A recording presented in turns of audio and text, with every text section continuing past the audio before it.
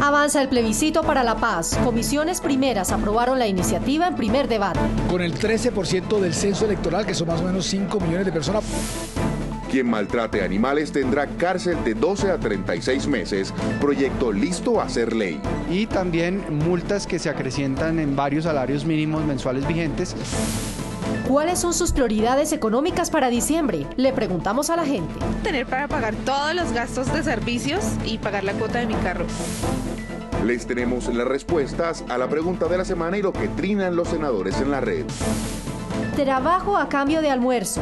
Comedores comunales en Chapinero, en Bogotá, para los más necesitados. Yo colaboro en, en muchos talleres, enseñando también porque yo sé fabricar muchas cosas.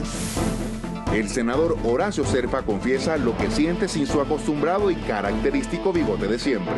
Me vi bastante más feo de lo que yo pensaba que era.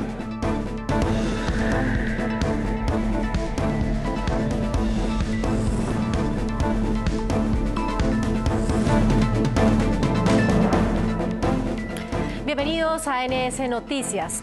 El plebiscito para la paz que avalaría los acuerdos de La Habana pasó el primero de varios debates en el Congreso de la República. Las comisiones primeras de Cámara y Senado aprobaron que el voto no será obligatorio. Solo habrá un día para acudir a las urnas y solo con el 13% del censo electoral quedaría aprobado este plebiscito.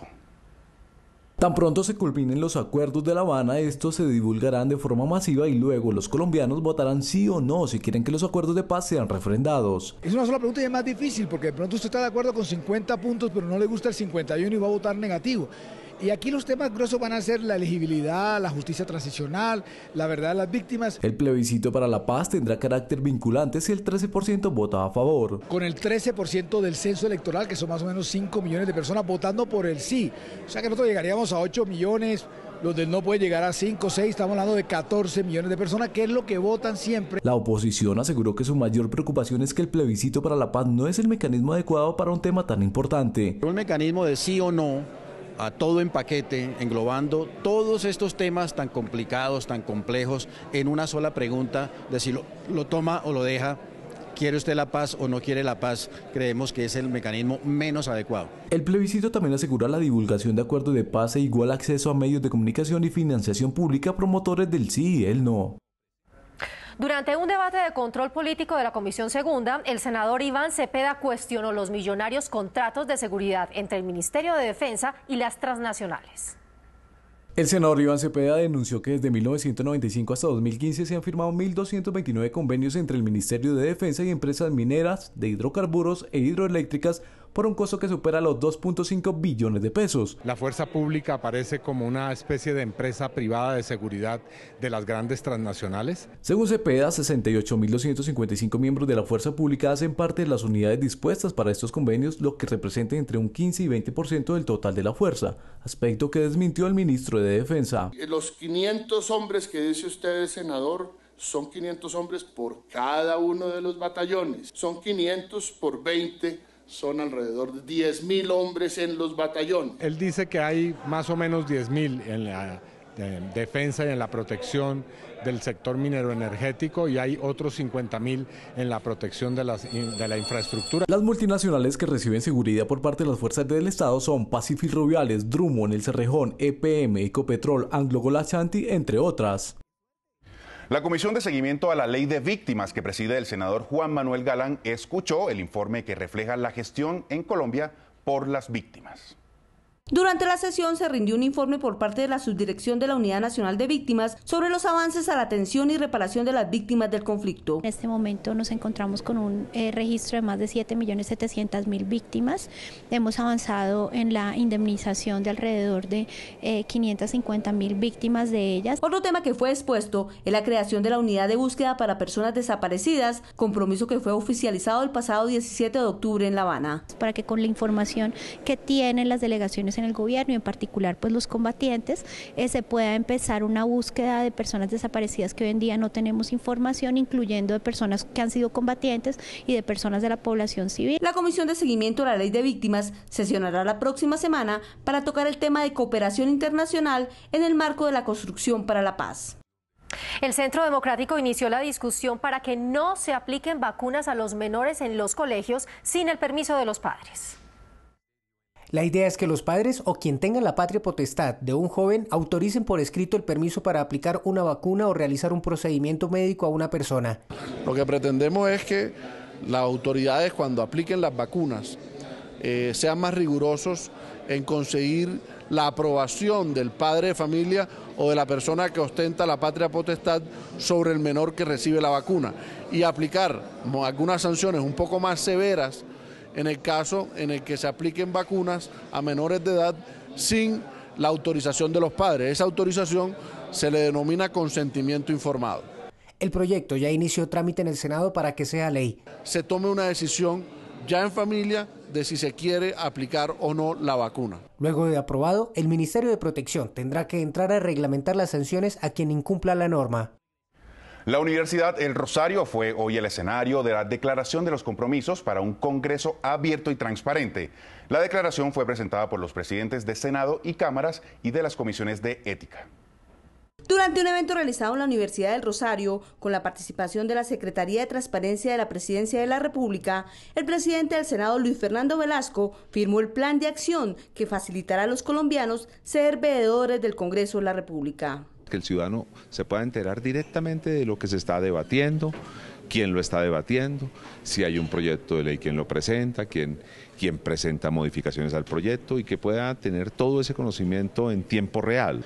Esta declaración consta de tres estrategias, una estrategia de participación activa, otra estrategia de Congreso íntegro y una estrategia de Congreso transparente. Este compromiso busca fortalecer la transparencia y los mecanismos para el control social y la participación de la ciudadanía. También los colombianos podrán acceder a toda la información que se gestione dentro del Congreso. Es una responsabilidad de la mesa directiva, de los secretarios de comisiones, del secretario general y de la dirección administrativa el pacto también fue firmado por el presidente de la Cámara de Representantes y al evento asistieron los presidentes de las comisiones de ética del Congreso y la mesa directiva de ambas cámaras.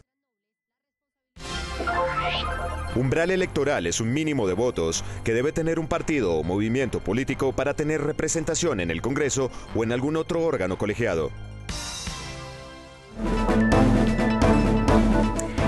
Varias citaciones del Senado a la Junta Directiva de la nueva EPS y ante su incumplimiento, la Comisión Séptima del Senado tomó la decisión de obligarlos a cumplir con su deber.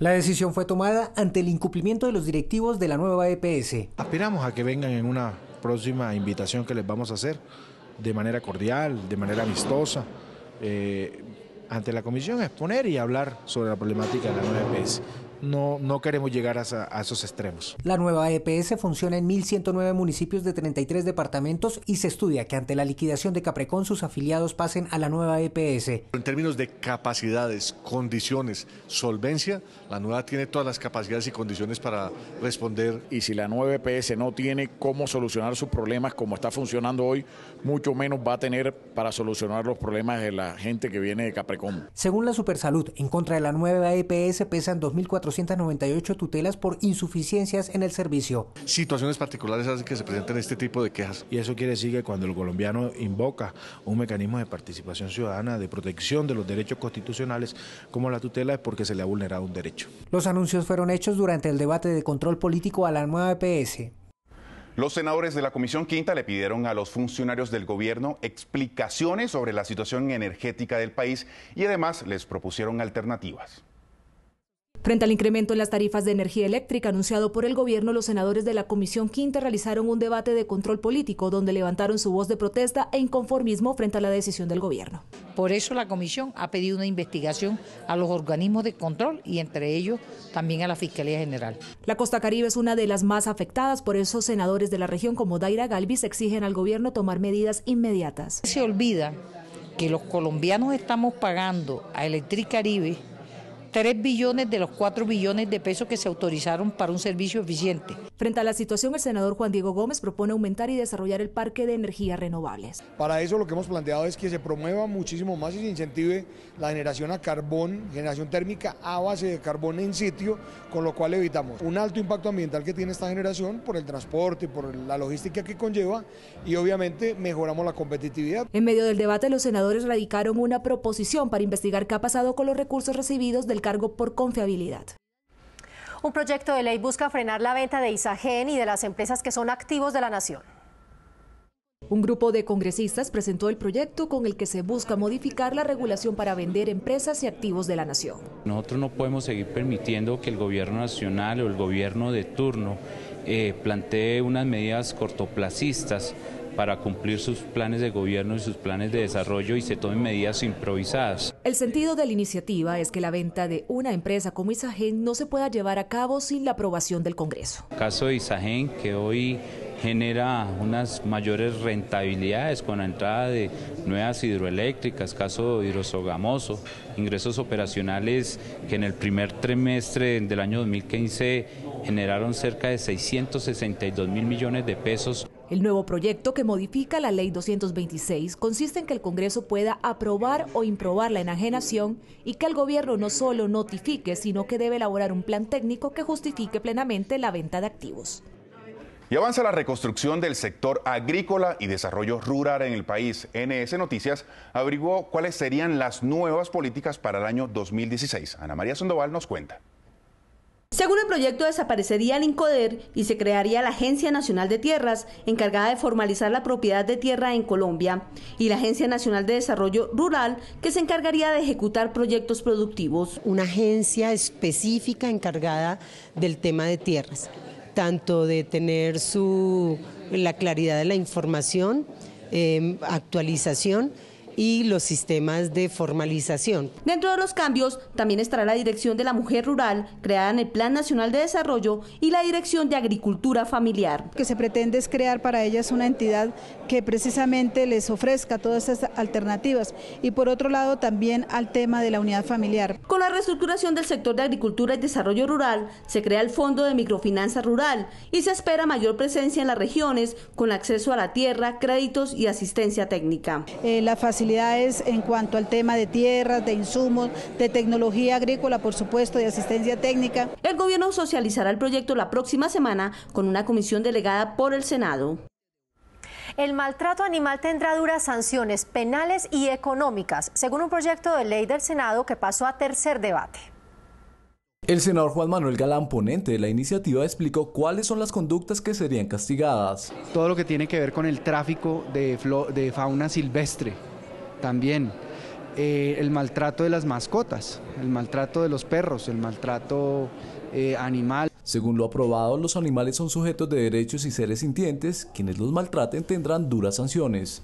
De 12 a 36 meses de cárcel y también multas que se acrecientan en varios salarios mínimos mensuales vigentes. El proyecto reforma el Estatuto Nacional de Protección de Animales y modifica el Código de Procedimiento Penal. Para que además mm, no se puedan usar recursos públicos ni los escenarios públicos con el ánimo de eh, hacer corridas de toros, eh, peleas de gallos, peleas de perros. La iniciativa está ahora a un debate de convertirse en ley de la República. Colombia, destino mundial. Así quedó plasmado en la ley de turismo que aprobó el Congreso en el año 2010. En este ABC de hoy les contamos qué beneficios trajo esta legislación. ¿Cuál es el objetivo de la ley de turismo? Impulsar al país como destino turístico, convirtiéndolo en uno de los lugares favoritos para el descanso y negocio de millones de viajeros. ¿Cuáles son los aspectos más destacados de la ley de turismo? Se crearon los comités locales para la organización de las playas, que estableció zonas destinadas al baño, al descanso, a la recreación y a las ventas de bienes de consumo. También se creó el Fondo Nacional de Turismo, cuyas funciones son el recaudo, la administración y ejecución de recursos para la infraestructura turística. ¿Qué otros beneficios trajo la ley? Profesionaliza la prestación de los servicios turísticos y facilita que los departamentos obtengan préstamos del Gobierno Nacional para construir sitios de turismo. Desde ya los colombianos se preparan para pasar unas felices fiestas de fin de año, pero ¿qué tan preparados económicamente están y cuáles son sus prioridades? En NS Noticias, la gente dice. En Tunja, Boyacá, estas son las prioridades que los habitantes tienen para las vísperas navideñas que se aproximan. Tener para pagar todos los gastos de servicios y pagar la cuota de mi carro. Y en segundo lugar, pues para poder tener una Navidad digna. Pagar deudas y estar con la familia también implica tener algo de dinero. Saldar todo lo que yo te debo para empezar el año entrante bien. En Armenia Quindío estas fueron las respuestas. Tener la matrícula para mi hijo en la universidad el año entrante es poder compartir en familia y poderle darle los regalos a mis hijos que nos están pidiendo. Lograr mmm, con mi prima pagar las deudas y empezar un año eh, económico próspero. Finalmente, estas son las prioridades que tienen para diciembre los habitantes de Córdoba. Que Dios nos tenga con vida y que para el próximo año haya nuevo haya empleo para todo el mundo. De tener comida, plata para comprar la comida 24 de diciembre y año nuevo y pasarnos un año nuevo bien bacano, bien sabroso y bien bueno con toda mi familia, bien bueno como Dios lo quiere. En Para Contar, el senador José Obdulio Gaviria habla del proceso de paz con nuestra directora Azucena Líbano.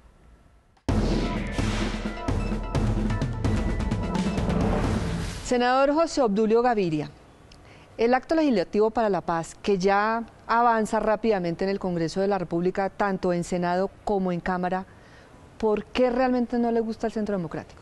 Inclusive el verbo gustar no me gusta.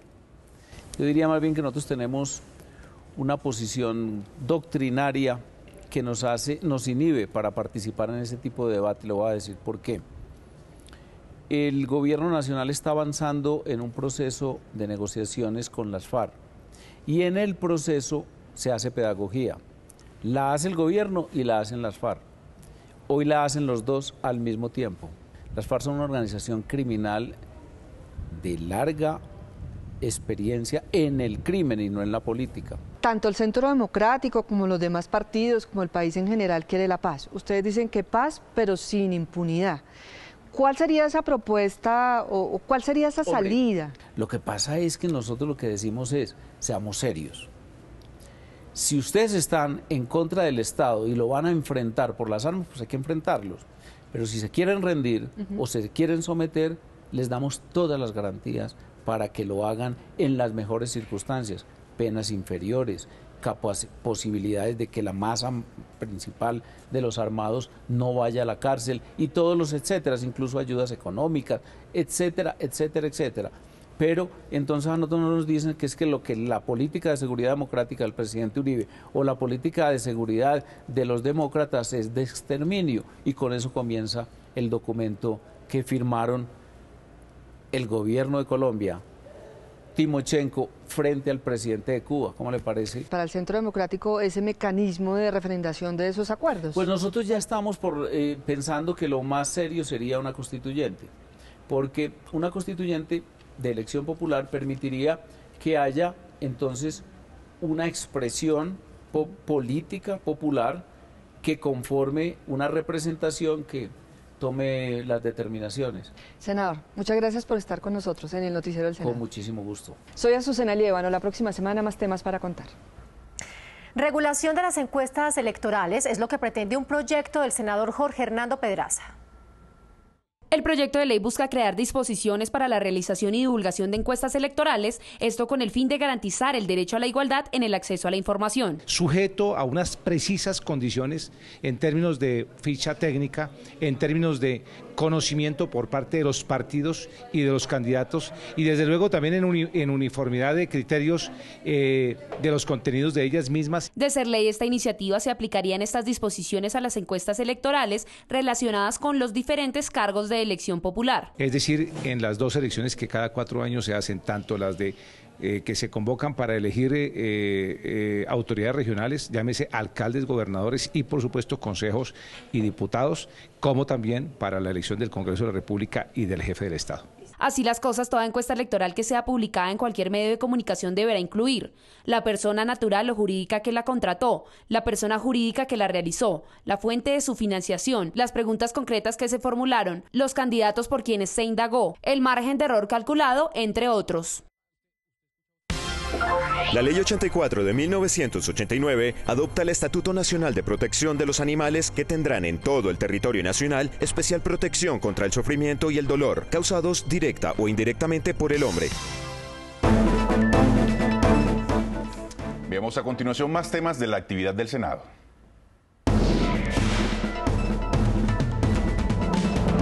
Arrepentido por su decisión, así se mostró el senador Horacio Serpa tras perder una apuesta y verse obligado a quitarse el bigote que lo acompañó durante 53 años. Pues francamente estoy bastante enguayabado. Cuando me vi en el espejo, dije, qué bárbaro, no, no, no. Eh, me vi bastante más feo de lo que yo pensaba que era.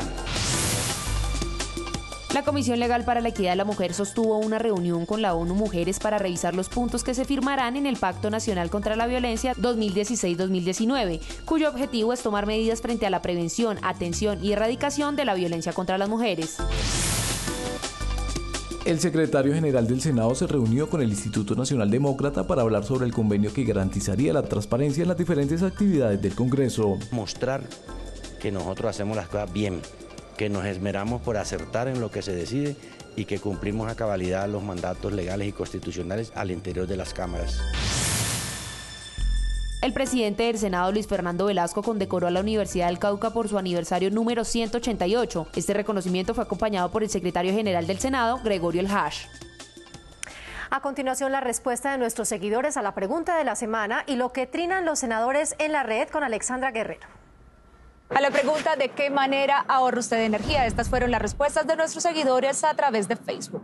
Verónica Andrea Calvo Figueroa. Recojo las cortinas para que entre la luz del día. No plancho, no prendo los bombillos de la calle a no ser que sea necesario. El tele poco, la nevera la mantengo en uno y evito abrirla para pensar. Dino Gadget. Apagar las bombillas que no se necesiten en la casa, desenchufar los equipos que no estén en uso. Milena Torres. Desconectar cargadores cuando esté cargado el celular, aprovechar la luz día, no abrir la nevera sin necesidad. Participe en el sondeo semanal. ¿Cuáles son sus prioridades económicas para diciembre? Envíe sus respuestas con el hashtag NS Noticias. Y hoy desde el centro de Bogotá vamos con lo que trinan los senadores en la red. Arroba Nora Tobar. En presidencia manifiesto al gobierno nacional mis preocupaciones por el futuro de la agricultura, la economía del campo y las mujeres rurales. Arroba Marixa-al piso Senado. Se elevan voces pidiendo importación de arroz en el 2016. Indispensable no hacerlo en época de cosecha nacional. Arroba Teregar Senado. Hago un llamado a la sensatez, a la dirigencia política de Sucre, diputados, congresistas y nuevo gobernador. Realicemos un trabajo en equipo. Encontramos en Bogotá un lugar donde las personas reciben almuerzo, ayuda psicosocial y talleres de emprendimiento. Ellos retribuyen con trabajo. Esta es la gente que construye país. En Chapinero encontramos un sitio donde a diario se le garantiza el almuerzo a 300 personas. Nosotros en los comedores comunitarios generamos otras oportunidades para que las personas salgan del tema de inseguridad alimentaria y puedan ellos mismos sostenerse y sostener a sus familias. Estos son los comedores incluyentes, un espacio creado por el distrito. Es muy buen servicio acá, nos tratan divinamente y hay eventos. Aquí las personas no solo reciben un almuerzo, también reciben ayuda psicosocial y algunos talleres que muchas veces son dictados por los mismos beneficiados, como es el caso de Sandra Camargo. Bueno, el servicio del comedor comunitario es una bendición. Sinceramente es algo que a mí personalmente me ha dado mucho apoyo en lo moral, en lo espiritual, en lo físico, en lo económico. Para Sandra la mejor forma de agradecer su sustento es enseñando manualidades. Yo colaboro en, en muchos talleres, enseñando también porque yo sé fabricar muchas cosas, velas, jabones. Ella es un ejemplo de emprendimiento, que no se queda esperando recibir, sino que también da. Chapinero hoy cuenta con tres comedores. Combatiendo el hambre es la mejor forma de construir país. Y si usted tiene una historia como esta para destacar, lo invitamos a escribir en nuestras redes sociales. Nos pueden seguir en Facebook como Noticiero Senado y en Twitter como arroba Noticiero Senado. También si quieren interactuar con el presidente del Senado pueden hacerlo en arroba Velasco Luis F o en la página www.senado.gov.co. Y hasta aquí llegamos, pero solo por hoy. Gracias a todos por estar con nosotros. Somos NS Noticias, el noticiero de los colombianos. Hasta pronto.